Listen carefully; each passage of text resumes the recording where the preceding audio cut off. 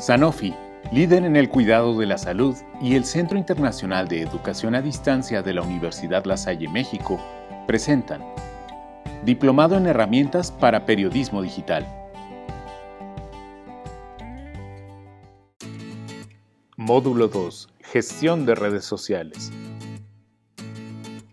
El objetivo de este módulo es que al final de él, tú diseñes, implementes y evalúes una estrategia profesional de comunicación en redes sociales. Esto lo vamos a lograr primero pues entendiendo el papel que están jugando las redes sociales en el periodismo y visualizando de alguna manera cuáles son las oportunidades que tú desde el punto de vista del el periodista y sobre todo el periodista en salud tienes para trabajar en las redes sociales o con las redes sociales.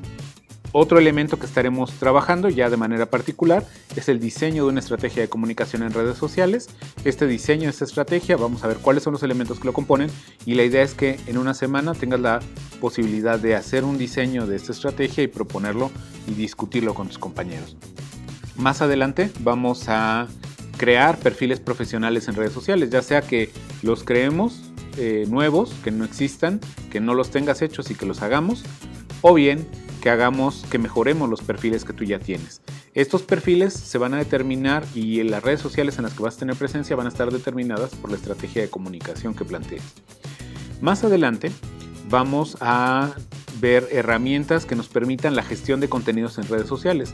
Por un lado, vamos a ver cómo distribuir cierto tipo de archivos a través de herramientas de almacenamiento en la nube, pero también vamos a ver cómo podemos utilizar algunas herramientas, sobre todo para programar publicaciones, para que no tengas que estar publicando todo en tiempo real, para que puedas estar eh, programando algunas publicaciones que se van publicando a lo largo del día y mantengas la atención de tu público.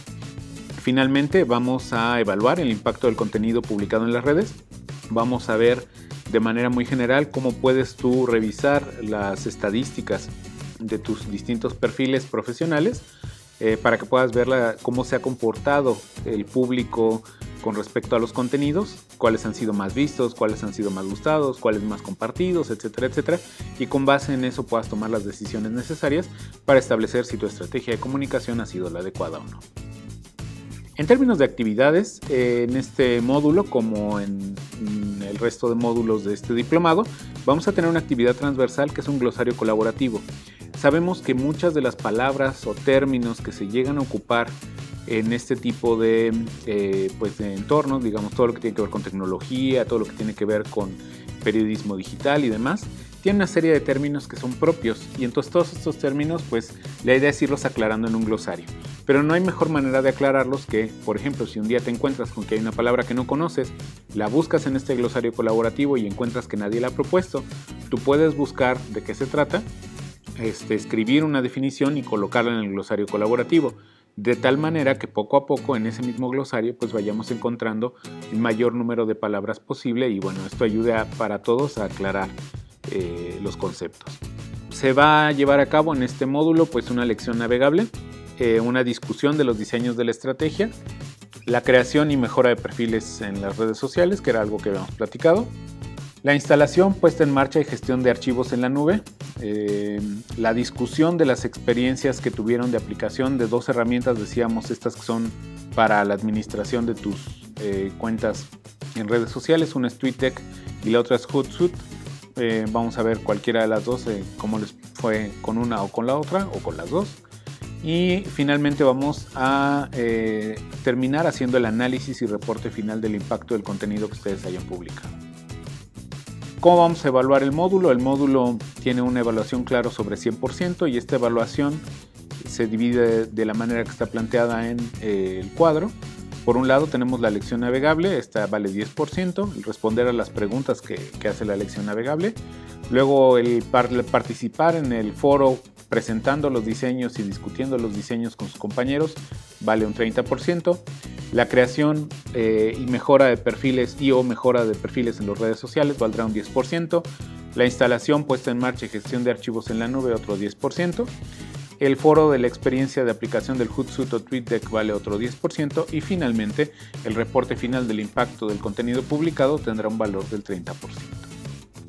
Como en otros momentos del diplomado, unas formas de comunicación son a través del espacio de avisos generales, donde yo les puedo dar avisos a todo el grupo, el espacio de dudas, donde tú puedes colocar todas las dudas que tengas con respecto a las actividades, al uso de herramientas, etc. La cafetería, que es un espacio más libre donde puedes intercambiar ideas de, que no tengan que ver con el curso con tus compañeros del curso.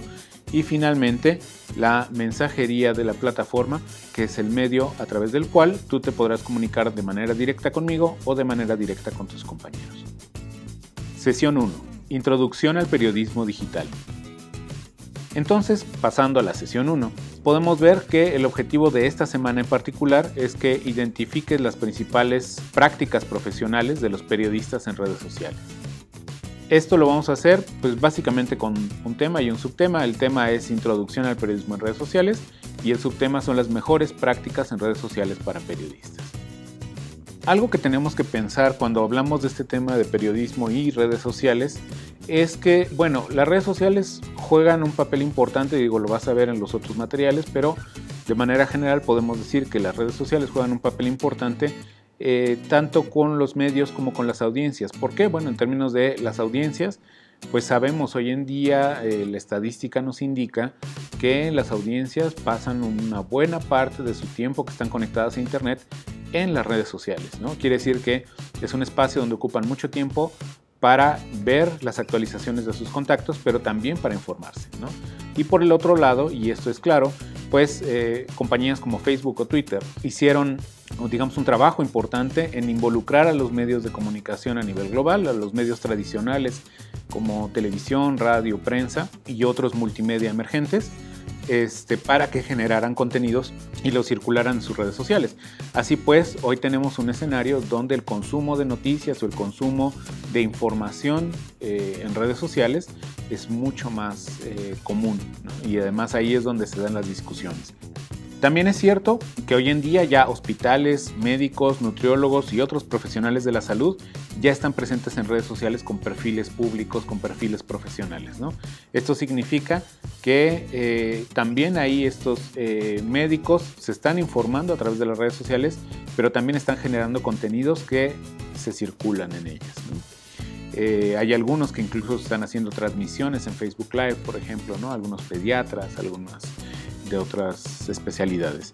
Y finalmente están eh, pues los pacientes y familiares que también se están informando sobre salud en redes sociales. ¿no? Entonces, esto es algo que está pasando, es algo que hay estadística. Digo, eh, en México en particular no hay como un estudio específico sobre lo que la gente está buscando de información en redes sociales en términos de salud, pero por ejemplo, aquí pongo algunos datos en el contexto norteamericano más específico del uso de las redes sociales para eh, información en salud. Entonces, por ejemplo, aquí nos dice que 45.6% de los adultos en Estados Unidos eh, buscaron información de salud utilizando eh, las redes sociales. Por otro lado, el 20.6% calificó la calidad del, digamos, del cuidado que recibió por parte del proveedor de salud. Y 33.8% pidió consejo sobre cuestiones de salud. Todo esto en redes sociales, ¿no? Entonces creo que es algo que muestra, digamos, una tendencia de uso. Digo, claro, esto decíamos, esto es en Estados Unidos, pero podríamos prever que algo de esto está pasando en México también. ¿Qué pasa también con esto, con, pues, con los eh, periodistas en, en, otros lugares? ¿no? Tenemos el caso, por ejemplo, de los periodistas de Forbes, que entre las cosas que hacen es que en su portal eh, los, tanto los colaboradores como los periodistas les ofrecen ponerles una página con información específica de ellos, ¿no? donde vienen pues, sus colaboraciones que han hecho y algunos otros elementos, algunos datos biográficos, pero también uno de los elementos que tiene fundamentales es el vínculo a sus cuentas de Facebook y de Twitter, LinkedIn también, pero bueno, principalmente Facebook y Twitter. Y entonces eso nos demuestra que por supuesto hay una importancia en tener perfiles eh, de redes sociales profesionales. En esta primera semana tenemos una sola actividad, que es la actividad 1. Estas actividades, recuerda, están numeradas eh, todas las actividades del módulo, de tal manera que podamos distinguir perfecto entre una actividad y, una actividad y otra, no importa la semana. ¿no? Entonces, esta es la actividad 1 del módulo Es una lección navegable sobre las mejores prácticas en Facebook, Twitter y otras redes sociales, obviamente mejores prácticas de periodistas.